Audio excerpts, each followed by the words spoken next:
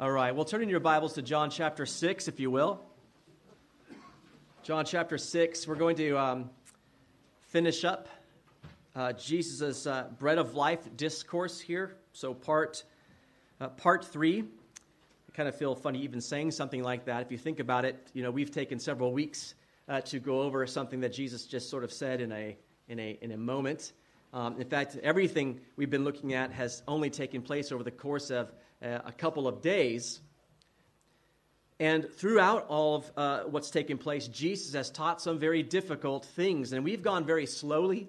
We've taken them in bite sized chunks week after week. And you have to remember that these people were hit with this all in one uh, teaching. Um, if you think back all the way back to the, um, the feeding of the, the 5,000, that was a big success. They wanted to make him uh, king, his, their, their, their political uh, ruler. And Jesus did the unthinkable and rejected that offer. And that had to be shocking to his disciples, to his close followers.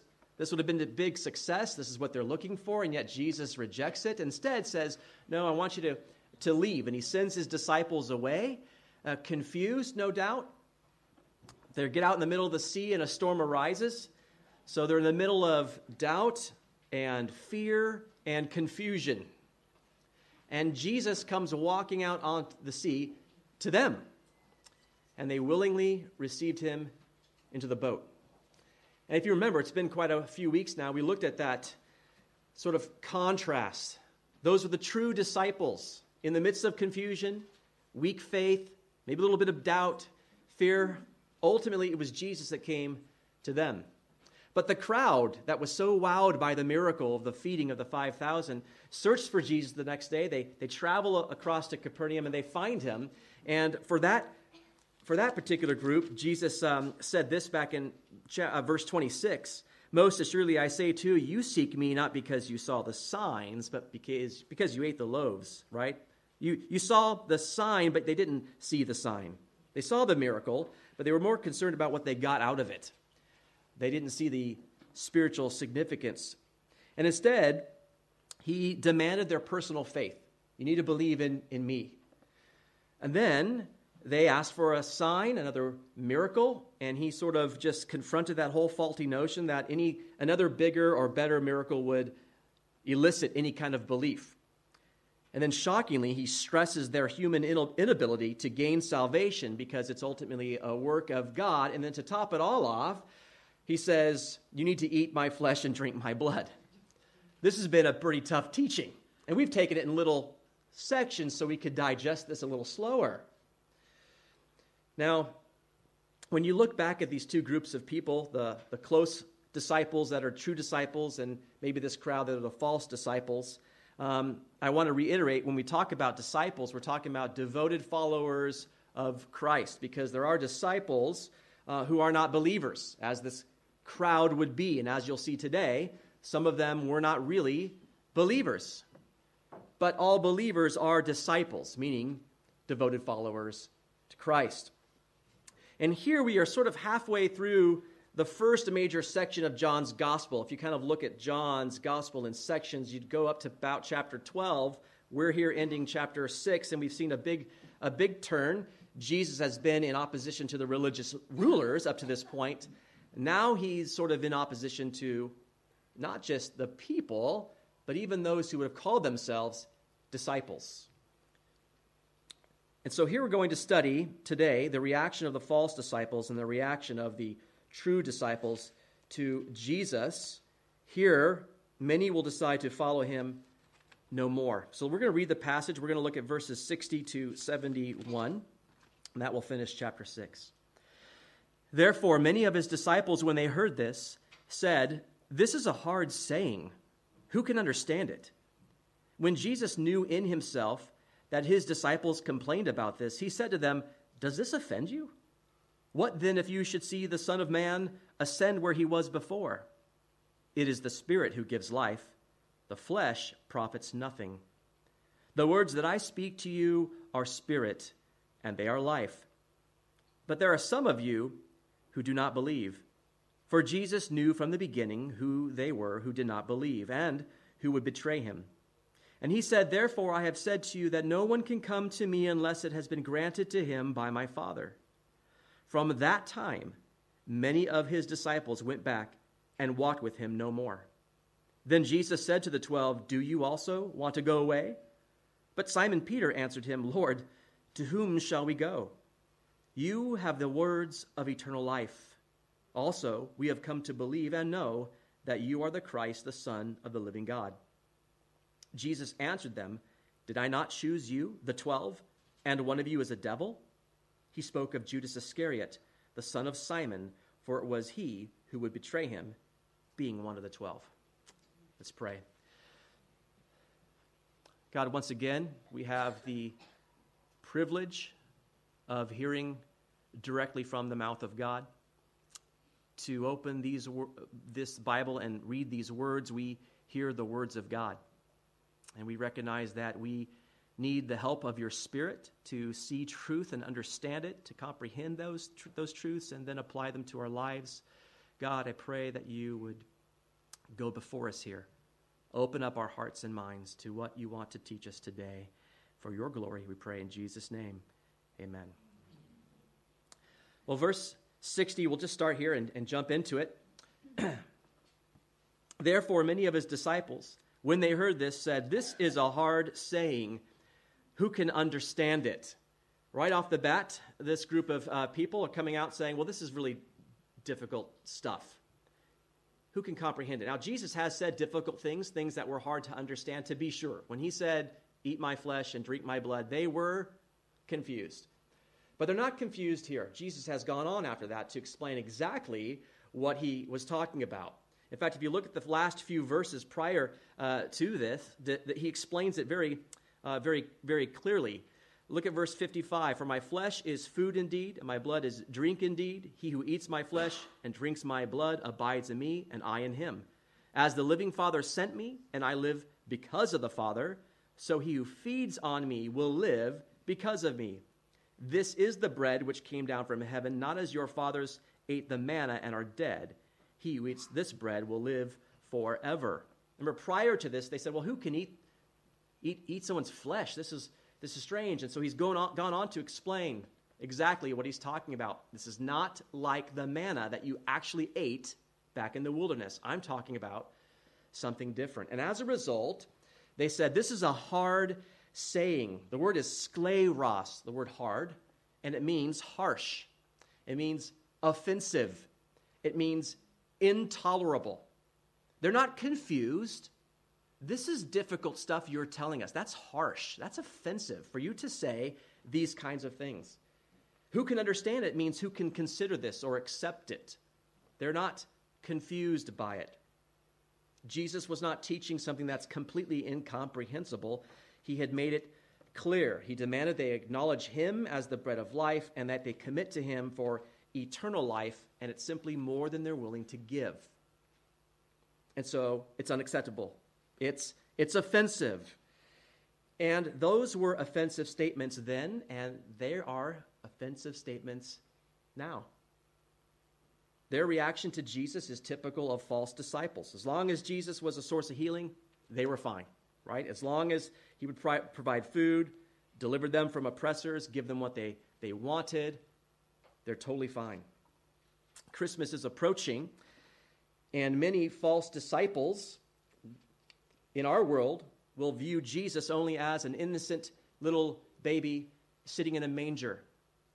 Your churches or your schools here want to see nativities put on by churches. They want to take kids to the nativity because they think it's a nice tradition that the kids should not miss out on. Churches should have a nativity.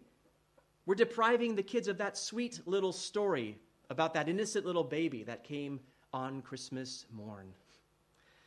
But even if that innocent baby in a manger uh, came so innocently, they're forgetting what Scripture says about that innocent baby, even in the Gospels, right? Matthew tells us that little baby came to save his people from their sins. Where's that in the Nativity?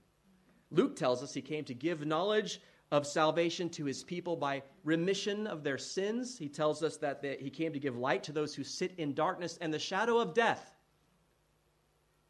What nativity would that message be included in? No, it's just a nice tradition. Those aren't included. Why? They're offensive. How dare you say I abide in death? How dare you say I need anything such as light? How dare you say I have sin? But Jesus demanded that of these people. He demanded that they recognize their spiritual bankruptcy, confess their sin, and trust in Him alone for salvation. And what's interesting here is that Jesus sees the heart of every person as he's been so far here in the gospel, and he sees the heart of these false disciples complaining about the teaching. And look at verse um, 60, 61. When Jesus knew in himself that his disciples complained about this, he said to them, Does this offend you? so, in his omniscience, knowing the hearts of people, knowing where they were, knowing how they were receiving this, or better said, not receiving it, complaining about it, he said, Does this offend you? The word is scandalizo, to take offense, or to give up believing, or to make one stumble, is the word. So, they were offended, and Jesus says, Oh, I'm sorry, did I offend you? Was that offensive to you? And the truth of the matter is, the gospel is offensive. The cross is offensive. Paul tells us in 1 Corinthians chapter 1 verse 23, I have it here for you. But we preach Christ crucified, to the Jews a stumbling block, which is the same word to the Greeks foolishness. They stumble at it. In fact, both uh, Peter uh, and Paul quote Isaiah 8:14 when they tell us that uh, the cross is a, a stumbling block, that Jesus is a stumbling block. He's a rock of offense. They both say that. He's a rock of offense. And these false disciples took offense at Jesus' teaching that caused them to abandon their, their superficial faith. It wasn't real. Now, we live in a culture today that is the offended culture of all times, I have to say. We, we, we are in the, I think, biggest, most offended culture I've ever seen. Now, I'm not that old, but, but crying out loud. In fact, if, if you don't have an offense or a grievance against someone, if you haven't been victimized in some way, you're really in the minority. You better look back in your past. You've probably been offended. And you better raise your voice about it, by golly, because you've been offended. And you better let someone know you've been offended because you're a victim. Listen, guys, we, you want to go there. We're really all victims in some sense, if you want to look at it that way, because we've all inherited Adam's sin, okay? We are victims. We're an easily offended culture, and everyone's offended by something uh, these days. And here's the sad thing is that the church, the church, hoping to make inroads with the, the offended majority, then, is, is watering down the gospel, and they're making it more acceptable and palatable. They don't want it to be offensive. Uh, and they've jumped on the bandwagon instead of, uh, of, of the gospel, social justice issues and the social justice issues of the day deal with those who are in the, uh, uh, the offend, offended, right? That's the, that, those are the issues of the day. Uh, so churches are holding LGBTQ plus meetings to show that they can be a, a welcoming, comforting uh, church. They're emphasizing the importance of God's love, but they leave out his righteousness. And the sin of man is downplayed. And the victory of man is praised. I don't know. A lot of churches are, are doing a lot of that. You have victory in you. You're a strong human being, right? Raise up and praise yourself. Here's what's wrong with that. The Bible is really clear in Ezekiel 18:4. Behold, all souls are mine. The soul of the Father as well as the soul of the Son is mine. The soul who sins shall die. That's what's wrong. The soul who sins shall die. Our priority should be, must be, to warn people of the truth. That truth. The soul who sins shall die. We might do a really good job of making people feel comfortable, but we will do that and we will make them comfortable all the way to the gates of hell. That's the truth. We cannot be worried about offending people the cross of Christ is offensive. In Galatians chapter 5, verse 11, Paul says this And I, brethren, if I still preach circumcision, why do I still suffer persecution? Then the offense of the cross has ceased. I should be persecuted because I preach the gospel. But if I'm preaching and it's all about circumcision, he's saying, there's no offense in the gospel because it's about that. No, I'm not being persecuted because of I preach circumcision. Paul's being persecuted because he preaches the gospel. So note here Jesus' approach to those who were offended at his message. And I think there's a message for all of us here. And hear me when I say, specifically, it is the gospel that should offend, not you. The gospel, the words, the message should offend, not the messenger. So let's look at his response here in verse 62. What then, if you should see the Son of Man ascend where he was before? Jesus has offended them with his claim prior to this that he, he came down from heaven, right? He's the bread of life that came down from heaven, the bread of heaven. And they need to eat and drink of him. And that he would he gave himself for the world, right? He's already said that. I've given myself uh, to you. So if I've given myself to you, here and you're rejecting that what would happen then if they if they saw jesus ascend back into heaven? What if i were just to ascend right back into heaven right right now? Would those claims still offend them? Well if we've learned anything from this passage we should see and understand by now yes they still would offend them. If you learn anything from going the book of revelation seeing all the things people in the end times will see they will not be repenting to God. They will still reject the claims because it offends man and their, his wisdom. It offends man and his strength and ability. It offends man and his righteousness. Spurgeon, Charles Spurgeon, gave a great um, set of examples of those of, of men that, that are examples of, of, of, of human beings in those areas.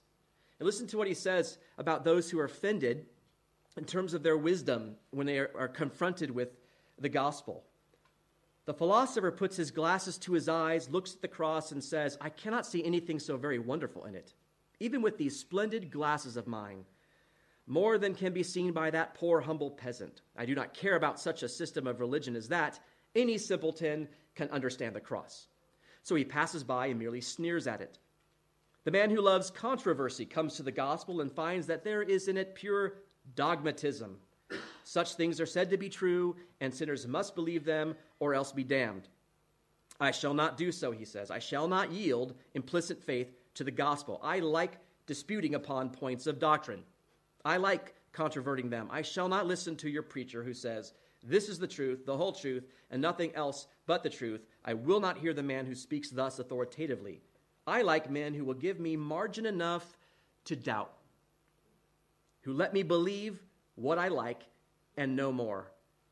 I prefer to use my reason and common sense.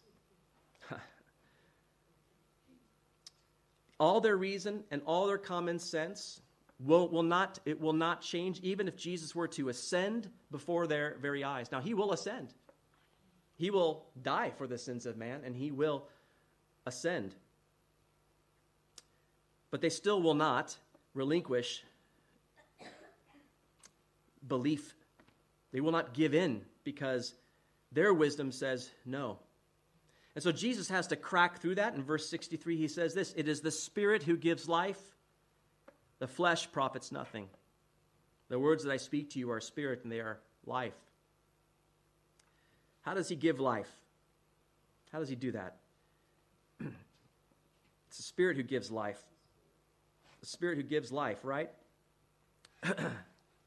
Jesus has been talking about some pretty difficult things here um, before this. Now we come to this section. He's going to hammer this down a little bit. The Spirit gives life. And in 1 Corinthians 2:14 it says this, "The natural man does not receive the things of the spirit of God, for they are foolishness to him, nor can he know them because they are spiritually discerned."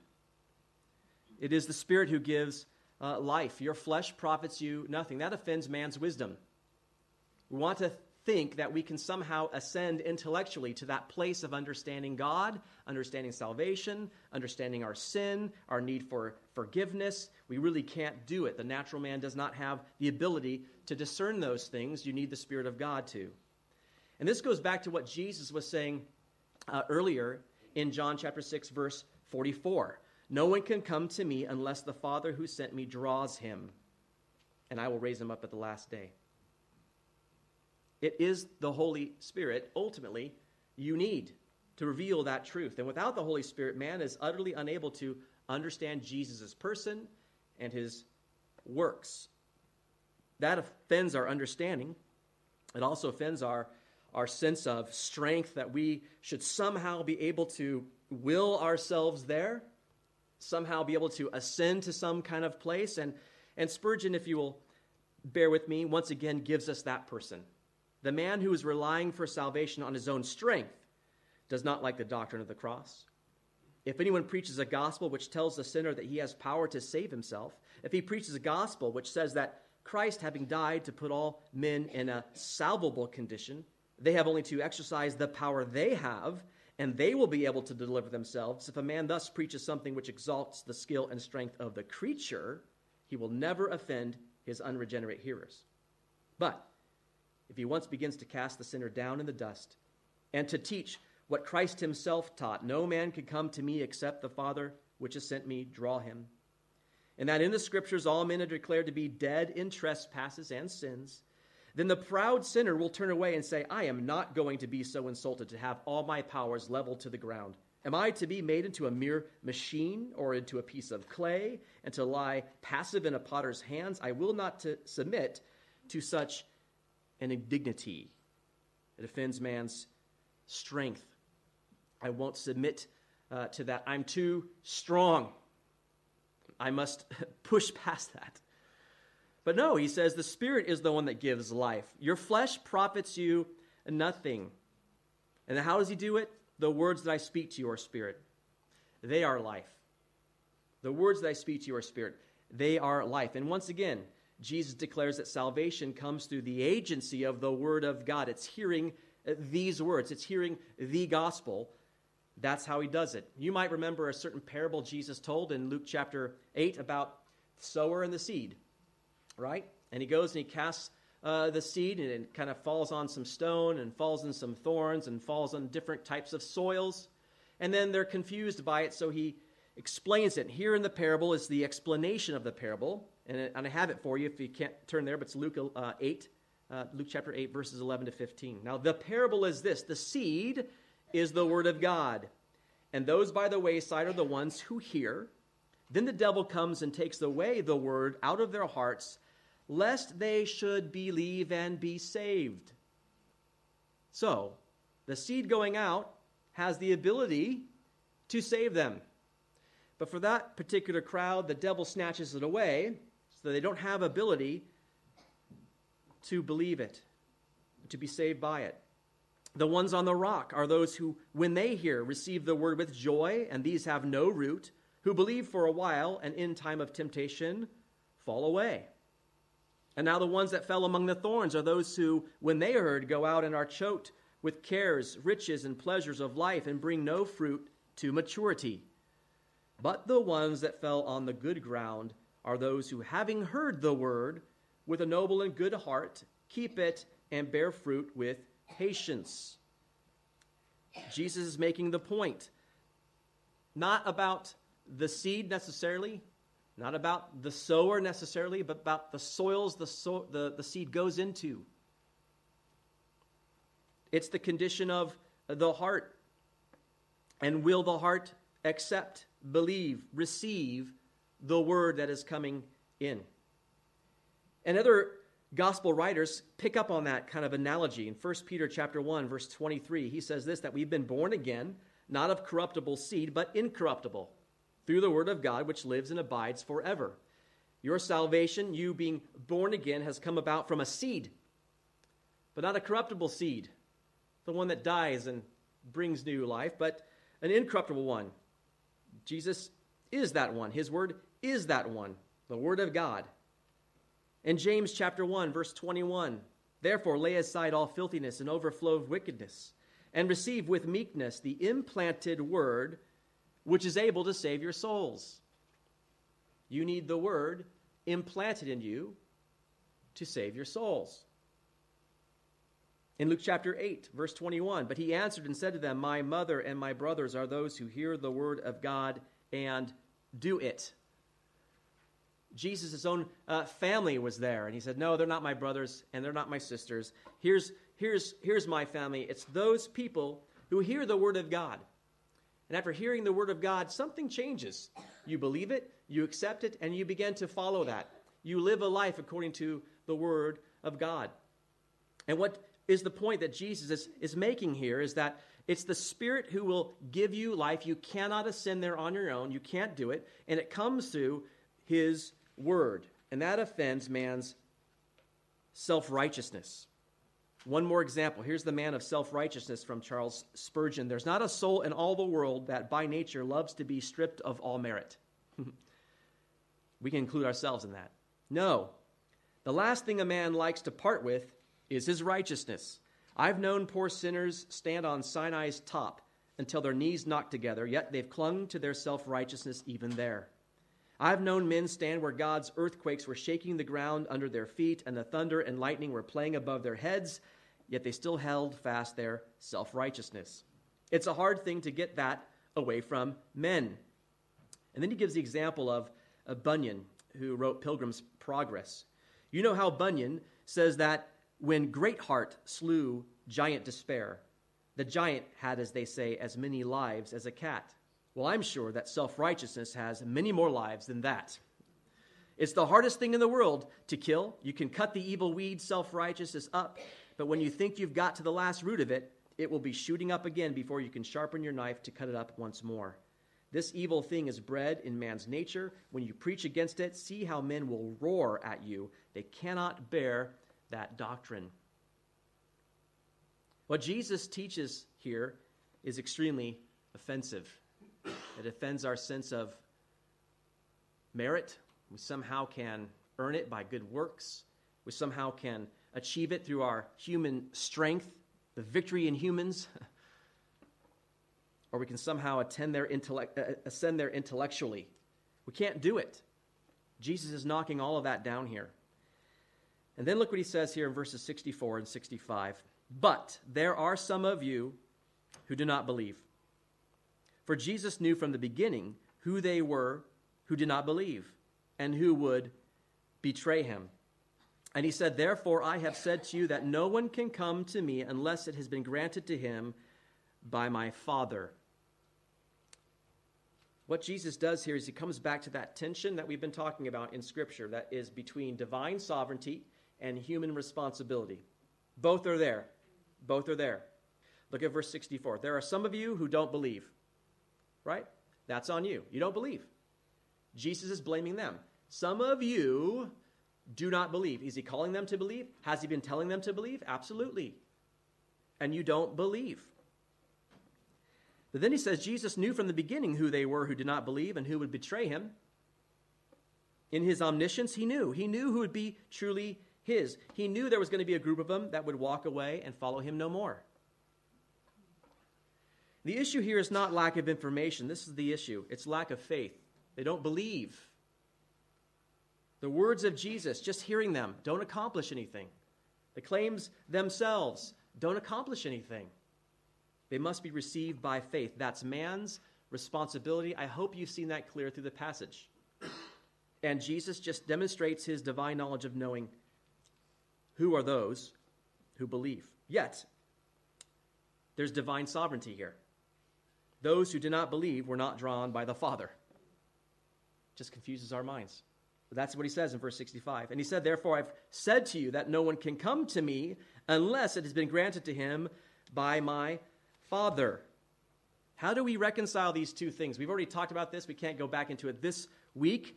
But I will tell you this you can't if you try to with your human wisdom, don't try. Your brain will explode. You can't, you can't do it. I can't reconcile those two truths. How am I called to believe, yet cannot believe unless the Father draws me? Yet I'm commanded to believe. In God's mind, that is not a problem in his mind. It's a problem in mine because it's, uh, it's human, it's small, particularly mine. It's pretty, pretty small. But it's true nonetheless because Jesus teaches it. it te- he teaches it. And what's the result here? Look at verse 66. From that time, many of his disciples went back and walked with him no more. They walked with him no more. They deserted him. They defected. And it's from that time, that means permanently abandoned Jesus. They're done with him. They wanted something that he was not willing to give. Right? Let me, let me come to you by, by my wisdom. Do, do another miracle. Let me intellectually understand that. And that's why Jesus was saying, Well, what if I ascended to heaven right now? What's that going to change? It's not going to change a thing because it's not of you. You can't get there through your wisdom. You can't get there through your understanding. He's not going to give that to them. He offered them something, though, that they're not willing to receive eternal life. Both are true. Both are happening in this passage. I hope you see it. That's the reaction of the false disciples. They're offended by the message Jesus has given. I have given myself for the life of the world. You need to come and eat and drink of me because I'm the one that has life in myself. You don't have life in yourself. They reject it. Here we now see the reaction of the true disciples. Look at verse 67. Then Jesus said to the twelve, Do you also want to go away? I think something pretty amazing is happening here, by the way. This is the first occurrence of that phrase, the 12, in John's gospel. We're probably all familiar with the phrase and don't even think anything of it because we read it in Matthew, Mark, and Luke. The 12, the 12. Oh, yeah, we know the 12. John's never used it. He only uses it in this passage. He'll use it a couple more times. And then he doesn't use it again until the end of the book in chapter 20. Why? I actually think it's a pretty important thing. Now, think about this. You have the idea of crowds following Jesus, multitudes around Jesus, right? Disciples always around Jesus. And then many left him and walked with him no more, and then he turned to the 12.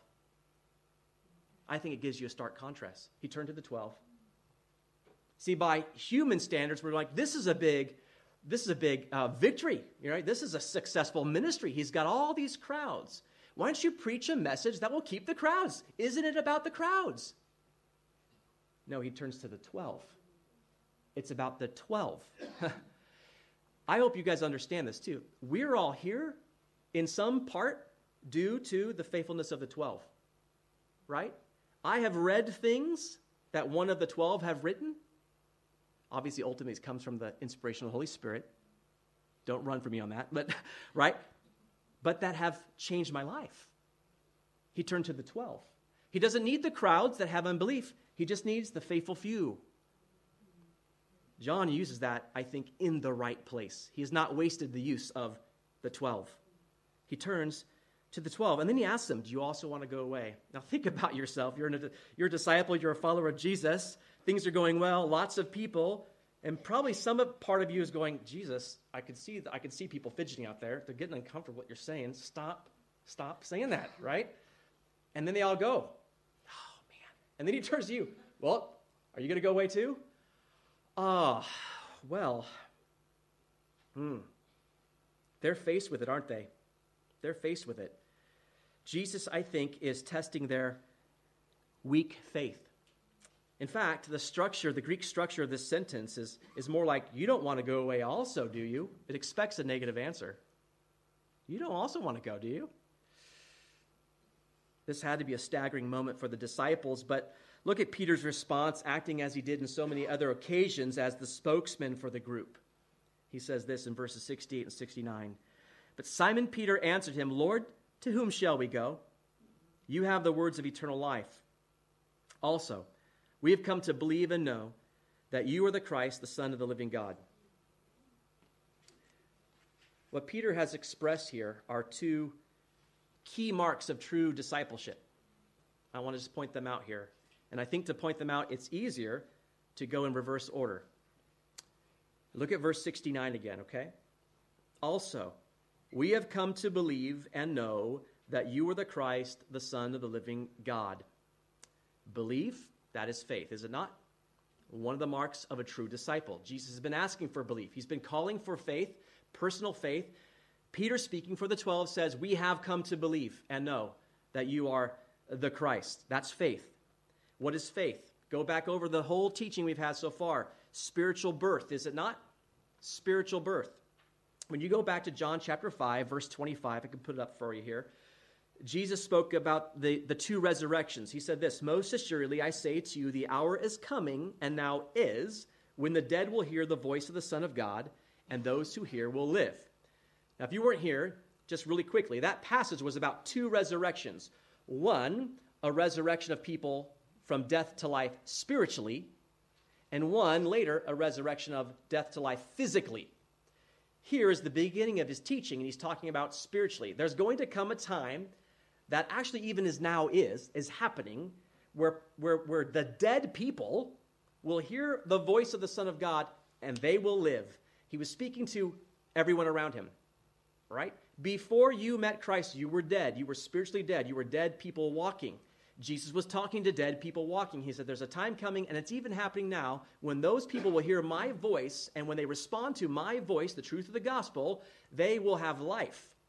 And that's what he's talking about here. That's faith. That's spiritual rebirth. You have spiritual life. And later on, the physical resurrection will happen to those who experience the first resurrection spiritually. And that's what he was talking about in that passage. These dead will hear the voice of the Son of God and live. And that has taken place with the disciples. The perfect tense of the Greek verbs translated have come to believe and have come to know conveys the idea of an act that has been completed in the past. That's happened. They're reborn. And when did that happen? Look at verse 68. We're going in reverse order here, but just the first, uh, the second part of 68. Verse B. You have the words of eternal life. This is, this is how it happens in salvation order. That's why I'm going in this order. You have faith, you have belief. How'd that come? Boom. Because it responded to the words of eternal life. You've seen that in what we've been studying, right? The words of eternal life have come, they've penetrated the heart, and now we have believed. They heard the voice of the Son of God, now they live. And because they now live through Jesus' words of eternal life, who else should they follow? Go back to 68, the first part of it. Lord, to whom shall we go? There it is. So the two marks are faith and then, Lord, who else are we going to go to? Who else are we going to follow? Faithfulness. Faith and faithfulness. It's a, not a one time act of faith and then that's all that takes place. Faith turns into faithfulness. It's continued devotion. It's continued loyalty to Christ. I continue to follow him. Who else are we going to go to? If those guys said, Yeah, we have faith, but now we're going to go follow this guy down the corner because he's got bread, would they have faith? They wouldn't. Faith and faithfulness. The initial faith of true disciples, and get me on this, always results in continued devotion and loyalty to Christ. Not sometimes, always. And if there's not continued loyalty and devotion to Christ, the initial faith was not real. They're like the, the first group here false disciples who turned away and walked with him no more. Do you see it? That is the truth. Faith and faithfulness. Now, we know who's in that midst of the 12. Even among the 12, not all were true disciples. And that's brought up here, right? Jesus sort of made reference to it when he said in verse 64 he knew from the beginning who they were who did not believe and who would betray him. I think he was talking about the bigger group that would leave, but also a specific person, and it comes out here. Look what Jesus says in verse 70 and 71. Jesus answered them, Did I not choose you, the twelve, and one of you is a devil? He spoke of Judas Iscariot, the son of Simon, for it was he who would betray him, being one of the twelve. Now, maybe you're sitting here going, This is random. Why is Jesus bringing this up? We just, we, we got here. We saw the two marks of, of disciples, true disciples. We saw faith. We saw faithfulness. Why are we bringing this up in here? What is going on? Why are we talking? Maybe for some people who have read the other gospel this time, they're going, well, hold on a second. We know one of those 12 isn't really a believer, right?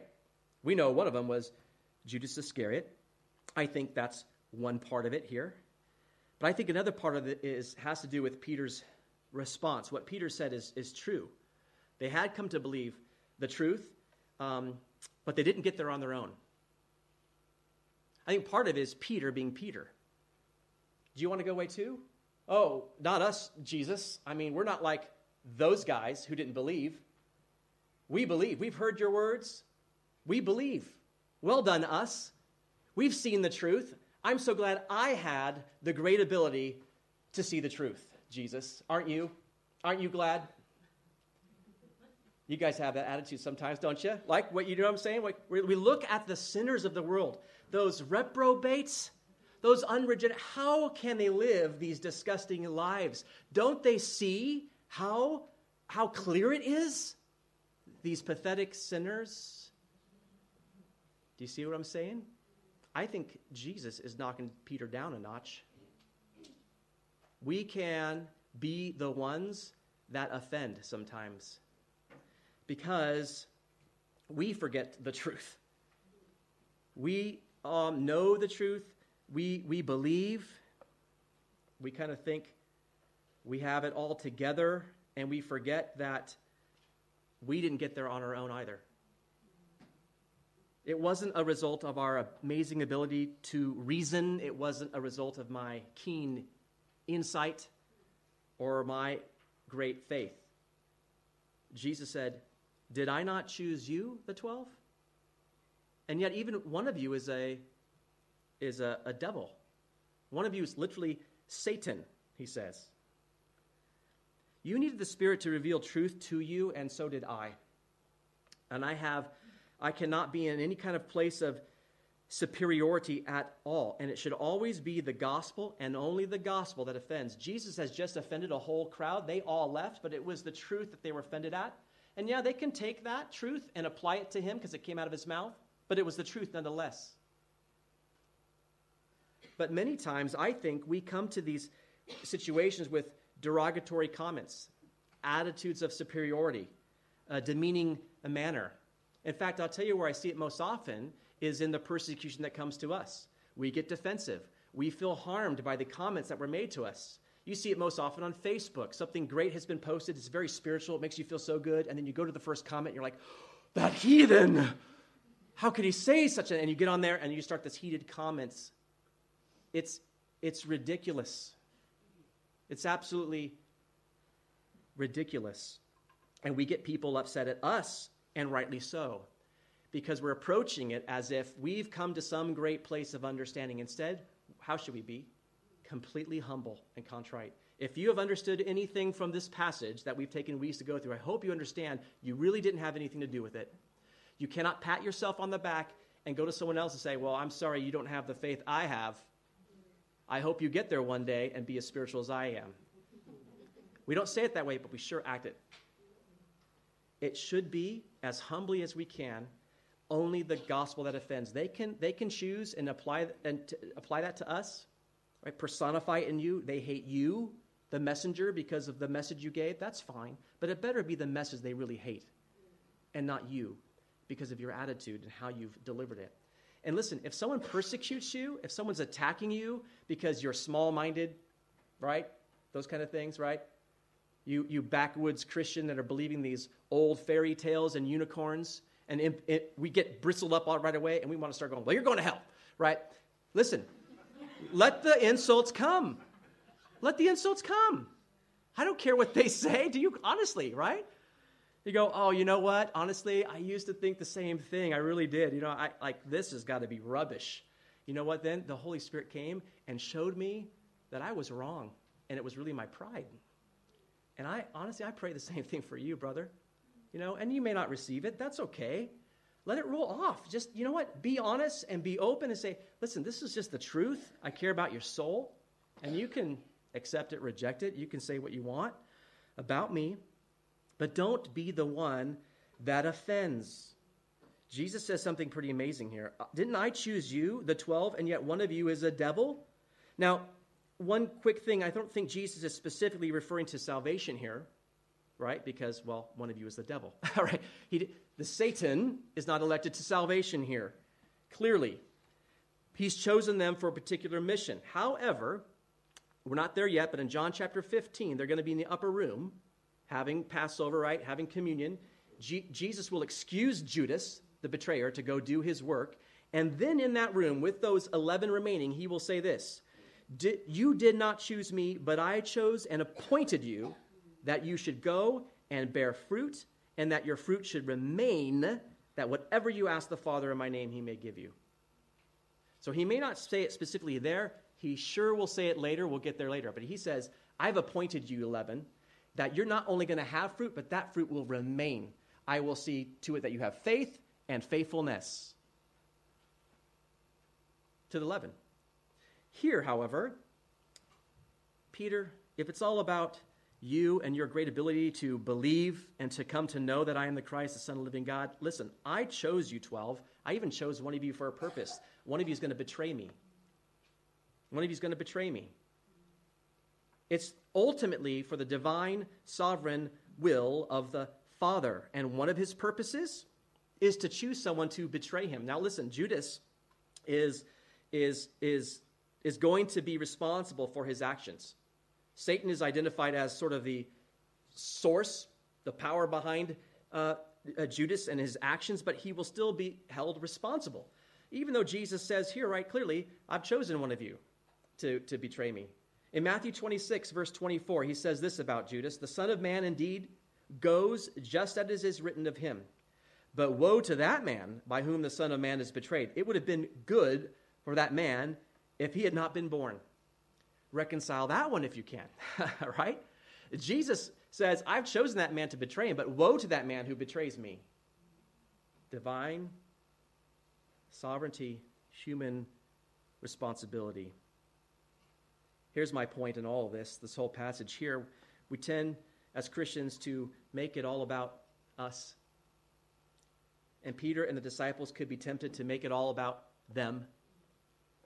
But with the final remarks Jesus makes here, I think he gives them a glimpse of a, of a bigger, bigger picture. That they are a very small part of a much bigger picture.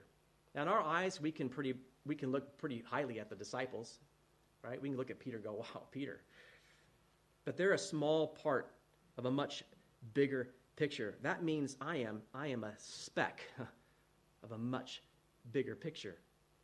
All things are being accomplished according to the will of the Father, and ultimately, all the glory will go to the Father, and that includes praise to Him for salvation. And so I want to give you the same glimpse. If you just turn to Revelation chapter 7 as a passage we'll close on.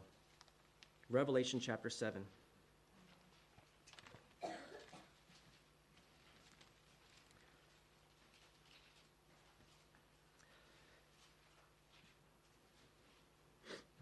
It's an amazing passage where you have the uh, 144,000 Jews who are sealed for salvation. We'll come to um, a great multitude in heaven in verse 9. Starting there, it says this After these things I looked, and behold, a great multitude which no one could number. These are all the believers of all nations, tribes, peoples, and tongues, standing before the throne and before the Lamb, clothed with white robes, with palm branches in their hands. If you were a believer today, you have placed your faith and trust in Christ Jesus, you continue to be faithful and trusting and loyal and devoted to Him the rest of your life, you are one of them. Just get that picture in your head. Look at verse 10 and crying out with a loud voice, saying, Salvation belongs to our God who sits on the throne and to the Lamb. Please note that again. Salvation belongs to our God and to the the, the, uh, uh, who sits on the throne and to the Lamb. It doesn't belong to me. I can't pat my own back. It ultimately is part of his amazing plan. And then all the angels stood around the throne, and the elders and the four living creatures, and fell on their faces before the throne and worshiped God, saying, Amen. Blessing and glory and wisdom, thanksgiving and honor and power and might be to our God forever and ever. Amen. Please keep that attitude in your hearts today. When you meet people, may your mindset be that. I can only praise God for my salvation, and brother, I'd love you to be in that multitude with me one day. You may reject it, you may hate me, you may curse me, but may the gospel be the only, only thing that offends. Don't be the one that offends them by your person, by your attitude. Be meek, be humble, be gentle, but be truthful. Let me pray. God, thank you so much for your word. And I thank you for the amazing chapter 6. in the book of John. You have brought to us some hard and difficult to understand truths, to be sure. And Lord, we will never understand completely how these things all work together this side of eternity. We might not even care the other side of eternity, Lord. We, we do know this. You are the God who saves. And we praise you for salvation. And each and every one of us have responded to the gospel, responded to the good news, have the good news to thank, have you to thank. And I pray that we would be mindful when we interact with unbelievers, when we interact with people who have not yet been transformed and experienced spiritual birth, that we would remember we had to be transformed, that we were dead people walking, that we had nothing in and of ourselves. We have no reason to have attitudes of superiority. Help us, God. It is so hard to fight the flesh in this area, I believe. We fail in many ways. Help us to be meek and humble. Help us to be truthful and allow just your gospel, your truth, to be the thing that offends, and to be meek and to be humble. Give us thick skins to absorb the insults that come, to take them with a grain of salt, to know that that is a soul desperately in need of saving. May you use us for your glory, God, we pray. In Jesus' name, amen.